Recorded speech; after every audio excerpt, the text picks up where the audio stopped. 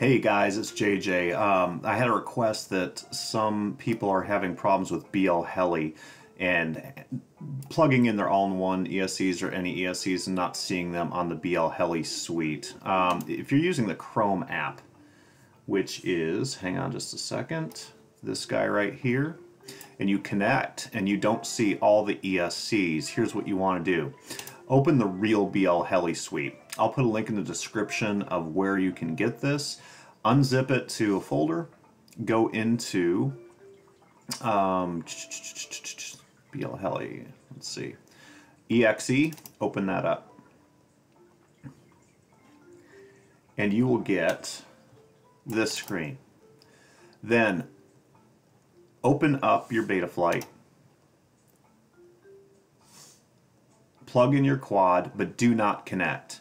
Leave this on whatever COM that is it pulls up. Let's say COM 25. Don't connect it, but you have to leave this open.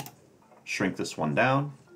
Then go down to, in your real BL Heli suite, go down to the COM, select the same COM that your Betaflight was on, and then go down to here, and you want to go SIL Labs, either CleanFlight or Amtel. It really doesn't matter. It will auto-detect. Okay? Let me plug this in real quick. Bear with me.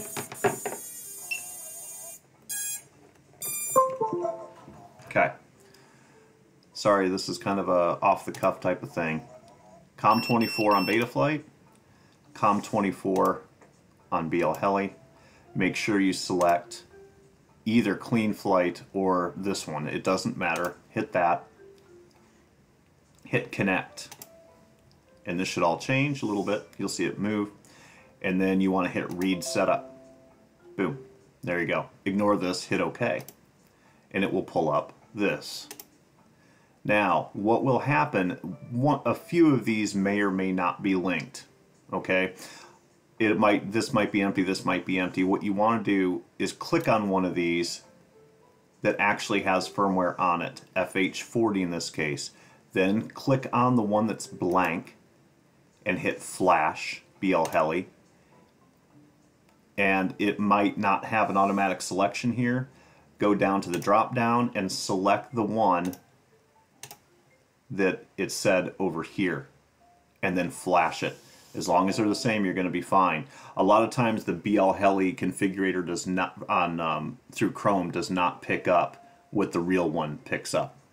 Um, and then so take a notepad, write down the one that is coming up. Okay, FH40 16.6. Go to the one that's blanked out. Let's pretend this is blanked out. Hit flash then pick FH40 from this menu. Multi, that's fine. And it'll pull up the latest revision and hit OK and then hit flash. Ignore all this stuff, hit yes. Then, once that's complete,